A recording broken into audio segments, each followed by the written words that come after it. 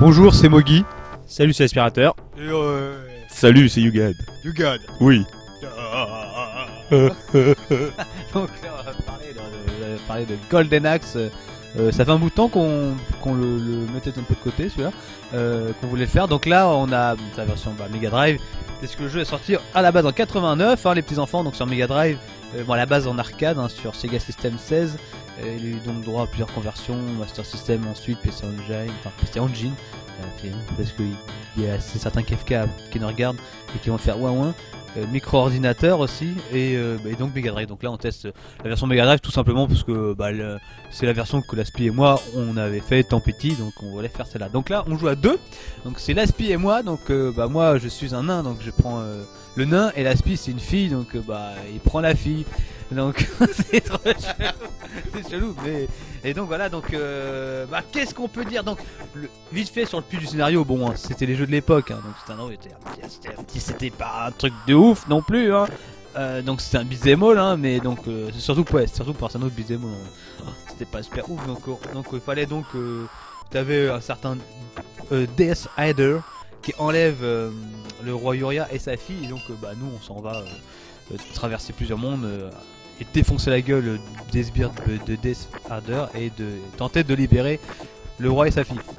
Voilà, c'était le pitch. et oui, donc on, donc on avait le choix dans le jeu entre trois guerriers. Donc Axe, euh, At- euh, Axe Battler, donc c'était un guerrier qui utilisait la magie de terre. T'avais euh, Ptyris Flore, qui était donc une Amazone qui utilisait la magie du feu. Et le nain, c'était c'était Gilius Thunderhead, qui était un nain qui utilisait la magie de foudre. Donc voilà, donc euh, le jeu c'était un bon beat'em euh, bien de la vieille école, hein, donc c'était... euh, euh, moi je m'en souviens que surtout sur Mega Drive c'était euh, Golden Axe et euh, Street of Rage, c'était vraiment les deux beat'em euh, phares je trouvais. Euh, donc voilà. Et évidemment, la particularité de ce beat'em par rapport au reste, c'était la magie.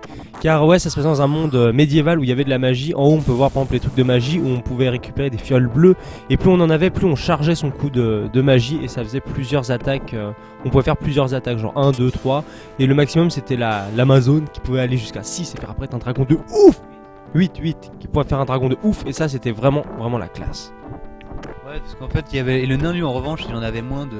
Parce qu'en fait, le jeu, c'est que vous avez vu, genre là, on, on pouvait défoncer la gueule à, des petits nains de merde là, et qu'il y avait un sac, bah voilà, qu'on peut voir là. Euh, et quand on les défonçait, du moins ceux qui sont bleus, bon, faut récupérer des petites potions. Les petites potions, bah, ça fait apparaître, vous voyez, haut, hop, euh, il y a une petite potion. Euh, euh, magie, oui, mais, mais, mais on a 8 en tout. C'est pour une, c'est potion bleue.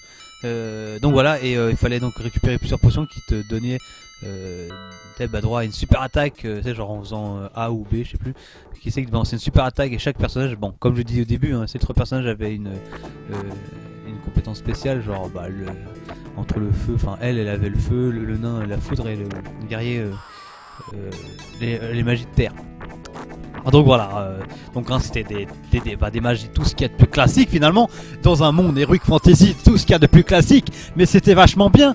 Et l'une autre particularité du jeu, euh, c'était qu'on pouvait euh, accéder genre à des montures. Euh, parce qu'il y a certains ennemis qui, étaient sur une monture, donc soit un dragon ou soit une espèce de poulet chelou, avec une grande queue là. Et c'était deux montures qu'on pouvait utiliser une fois. Alors, une, fois. Alors nous on essaye de défoncer les gosses parce qu'on est des bons joueurs de jeux vidéo et comme tout bon joueur de jeux vidéo, on essaie systématiquement au début de défoncer les innocents. Ah voilà, bah voilà ce que j'expliquais sous vos images. Donc euh, voilà, voilà, j'ai j'ai réussi à choper le dragon et là je crache du feu, ce qui est assez puissant. Euh, sinon, bah, au niveau euh, des, euh, des combos, etc. et, des coups, c'était pas super varié finalement. C'était vraiment, bah, c'est vieux, hein, ça date de enfin, 89 le jeu. Donc t'avais pas beaucoup de coups, hein, t'avais deux enchaînements à la con. Quand tu, pouvais, enfin, si t'appuyais deux fois rapidement sur gauche ou droit, ton personnage courait. Et si tu appuyais sur le bouton de tir, bah, tu pouvais faire, genre une charge, bim, et, et défoncer les ennemis. C'était super utile contre certains boss. Sinon, le jeu était pas facile, c'était même difficile. T'avais certains ennemis, notamment là. Alors là, j'ai failli me faire dégommer. Là, vous voyez, là, le squelette, il a fait me défoncer. Heureusement que Laspi était là pour me libérer euh, avec sa magie de feu. Hum, Coquine. Et donc, et là, il faut le savoir. Ouais, il y, y avait des ennemis qui étaient assez balèzes. hein. Contrairement, par exemple, à d'autres all où finalement les ennemis. euh, tu les défonçais genre à tour de bras.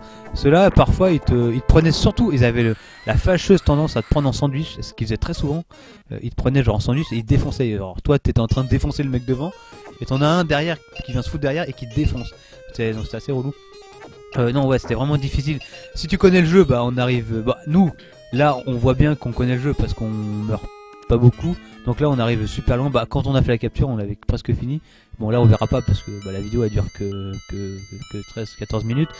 Mais sinon, donc il y avait plusieurs niveaux. Je m'en souviens plus du nombre exact. J'en avais 7-8, je sais plus combien exactement. Euh, euh, sinon, t'avais un petit défaut du jeu. Euh, là, on peut le voir. C'est comme c'est un beat'em all, donc ils ont intégré à de très rares occasions, mais je sais qu'à ce niveau-là, bah, y a- bon, bah là on le verra pas, mais euh, y a de très rares occasions quelques petites séquences de plateforme, tu vois, où tu as genre un trou et, euh, et les personnages doivent euh, bah, sauter par-dessus, tu vois. Alors, il doit avoir 3-4 trous hein, dans tout le jeu, tu vois, mais c'est mais c'est tellement, mais les sauts sont tellement foireux et mal gérés qu'en général c'est toujours là, c'est toujours euh, lors de, ces phases de plateforme, et bah, qu'on meurt et qu'on perd 3-4 vies. Et c'est rageant. Et d'ailleurs, le- dans le tout dernier niveau, tu avais un passage comme ça et où il y a un trou assez grand où il faut vraiment faire un saut euh, à peu près millimétré et c'est assez galère et c'est là où on perd en général euh, toutes ses vies et euh, c'est assez frustrant. Quand ils essaient de mettre de la plateforme dans les beat'em all, c'est assez galère, c'était pas, bien géré. Sinon, autrement, au niveau des, combos, quand on s'approchait des ennemis, on pouvait te retaper sur le casque et ça c'était rigolo. Ça mettait un peu de, des piments dans les animations. Aussi, on pouvait porter les ennemis, c'était ça. bah, ce qui était dommage, c'est qu'on pouvait pas les balancer sur les autres pour leur faire mal. Mais euh, et aussi, par rapport, enfin, dans cette époque-là, quand on était dans des beat'em on pouvait taper son copain. Et ça, euh, c'était, ça pouvait être assez rageant euh, des fois dans certaines positions. Il y avait plein, plein de disputes comme ça, c'est genre avec les avec tes potes. Non, de me taper, tu m'as tapé là. Et après, ces gens non, c'est bon, j'ai pas fait exprès. C'est ce que souvent, c'est ce que souvent, euh, on faisait pas exprès. Que souvent, il y en a un qui veut taper euh, un ennemi et l'autre se met derrière euh, son pote et il veut taper le même ennemi. S'il fait, bah, qu'il il frappe l'autre sans faire exprès. Et l'autre il fait, mais arrête, arrête, tu me tapes là, tu me tapes, tu fais chier. Et après, Je me rappelle de ce genre de disputes. Et des fois, c'était rageant parce que genre l'autre il avait pris un dragon et il te met du feu dans la gueule et ça fait hyper mal. Et tu mais non, mais t'es con ou quoi? Il y a toujours, à chaque fois, genre avec les all de, l'époque ou les, ou les jeux comme ça, euh, et quand on joue à deux, il y a toujours, tu sais, il fait toujours ce genre euh, se partager les, les, les, les items, les magies, tout ça. Il y a toujours un qui disait, eh mais tu viens d'en prendre deux, vas-y, fallait m'en laisser un, parce que souvent. Il existait des jeux où en fait ils, essayaient lorsque tu joues à deux, c'est genre ils te mettaient pile poil le, bah, bah, le double, le double de, magie, tu vois. Et il y en a un sans faire exprès, et ça arrive que l'autre sans faire exprès, euh, bah, en prenne deux. Mais par contre, ça arrivait aussi. Je connaissais des potes et et, et où finalement tu voyais les vraies personnalités des gens, c'est en jouant beat'em all, tu vois. Tu sais, il fallait jouer, faire jouer. Si, enfin, si tu voulais voir si quelqu'un était égoïste ou pas, bah tu- tu le, faisais jouer un all et là, si Ami prenait toutes les magies, tu disais Tiens, sale égoïste, sale con, sors de chez moi tout de suite, lâche cette manette et sors de chez moi. Il fait quoi? Non, mais c'est bon, faut pas le prendre comme ça. C'est qu'un il est sort de chez moi. Après, il y a la musique et tout derrière des choses. Je trouve ça chelou. Dis un truc, mon petit Yugan. Ouais, bah moi Golden Axe, j'ai joué une fois avec toi et euh, bah, j'avais beaucoup aimé.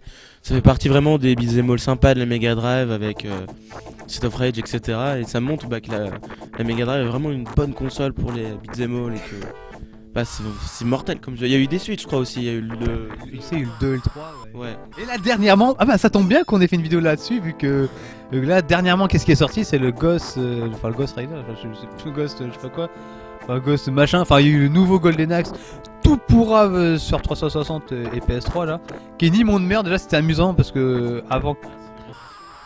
Non, non, non, non, c'est, genre un nouveau en 3D où on, où, euh, où on joue une nénette, ouais.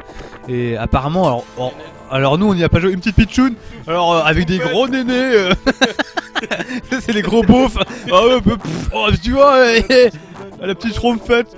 Non, et dans, dans le jeu. Et donc, en plus, c'était amusant parce que, bah, bon, c'est presque sûr que le jeu serait pas terrible, tu vois. Parce que c'est un jeu. En général, dès que quelqu'un, surtout Sega, ressortent un vieux titre euh, bah, de leur carton pour en faire un, un nouveau jeu, euh, genre en 3D sur une nouvelle console, ça a toujours été de la grosse merde.